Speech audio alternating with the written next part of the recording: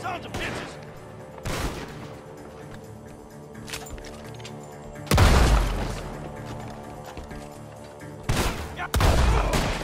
Good.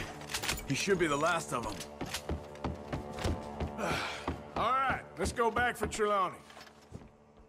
You all right? Yeah. Never goes easy, does it? Sure don't. Come on. Let's go see how badly they beat up the slippery feller. I wonder how much trouble he's brought with him. Uh, guess we'll soon find out. Seems like we can't catch a break now, Arthur. Our luck's held this long.